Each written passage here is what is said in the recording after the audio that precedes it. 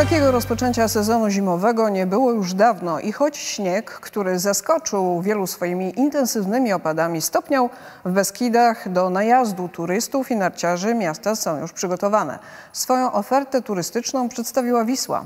Do szczęścia potrzeba tylko odrobiny mrozu. Fatima Orlińska. 14 ośrodków narciarskich, 30 km tras skitury i największa baza noclegowa w województwie. Warunki idealne dla miłośników sportów zimowych, choć dzisiejsza pogoda może napawać wątpliwościami. Wisła jednak deklaruje, że na zimę jest gotowa, a do pełni szczęścia brakuje tylko delikatnego mrozu. Wszystkie stoki wyposażone są w zmodernizowane systemy naśnieżenia, stąd chwilowy brak opadów nie stanowi przeszkody. W tym sezonie na narciarzy czeka też sporo nowości. To jest na pewno powiększony system naśnieżenia, który nam pozwala więcej tego śniegu wyprodukować i lepiej przygotować trasy. E, bardziej rozbudowana plac pingwina, który mamy na dole, to jest dla dzieci. E, nie tylko dla narciarzy, bo jest taśma, na której wyjeżdżają młodzi adepci jazdy na nartach, ale jest też tor na sanki, e, tor do snowtubingu.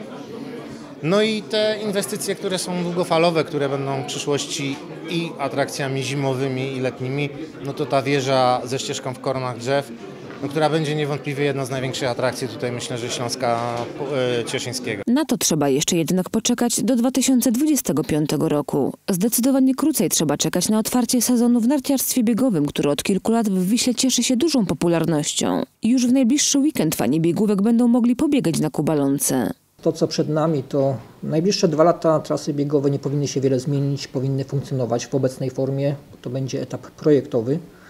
Natomiast już od wiosny chcemy rozpocząć te prace projektowe zmierzające do tego, żeby na Kubalące powstał obiekt wyjątkowy, wyjątkowy w formie i wyjątkowy w tej treści, którą będzie przekazywał. E, to będzie zupełnie coś innego, coś, co no, nie można. A chodzi o nowoczesny stadion biatlonowy, który trenowanie biegów narciarskich umożliwi przez cały rok. Jak podkreślają władze Wisły, miasto każdego roku rozwija się dzięki turystom i dla nich. Dlatego każdego sezonu powiększa swoją bazę noclegową, organizuje sezonowe eventy i inwestuje w infrastrukturę zimowych sportów. Wspólnie z branżą narciarską e, postanowiliśmy stworzyć rozwiązanie dostępu do lodowiska, e, które po raz drugi w naszej miejscowości będzie otwarte, a więc wszyscy ci, którzy kupią wispasowski karnet e, jednodniowy i wszystkie kolejne będą mieli bezpłatny jednorazowy w danym dniu wejście na, na lodowisko i bardzo podobnie również jeżeli chodzi o stację narciarską z Kolnity, czyli powyżej 4 godzin każdy karnet e, upoważnia na wejście lodowisko bezpłatnie. Tegoroczny sezon narciarski zaczął się wyjątkowo wcześnie. Pierwsi narciarze pojawili się w Beskidach już końcem listopada. Dlatego organizatorzy zimowych sportów przygotowali się na dłuższy niż zwykle sezon, proponując atrakcyjne oferty i zniżki na karnety. W Wiśle obowiązuje wspólny wiślański skipas, który pozwala korzystać ze stoków w Istebnej i Ustroniu. Jest to 12 stacji narciarskich, ponad 30 wyciągów i urządzeń, 8 kolei krzesełkowych, około 30 km tras o różnym stopniu trudności i pełna infrastruktura na każdej stacji, czyli wypożyczalnie, szkoły narciarskie i gastronomia.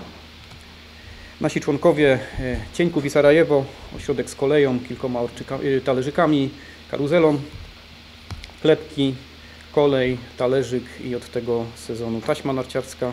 Wiślański skipas pozwala na korzystanie ze wszystkich stacji z możliwością dowolnej zmiany ośrodka. Dla tych, którzy wolą nieco spokojniejszą formę wypoczynku, w weekend potrwa jarmark świąteczny na wiślańskim rynku.